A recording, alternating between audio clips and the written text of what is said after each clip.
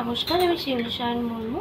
আমি এখান থেকে প্রচুর পারচেস করি, আজকেও পারচেস করলাম একটা প্যান্ডেন্ট খুব ভালো লাগে আমার এখানে জিনিস নিতে। আর সবার বিহেভিয়ার খুব ভালো, আমার খুবই মানে আসতে খুবই ইচ্ছে করে বারবার। Thank you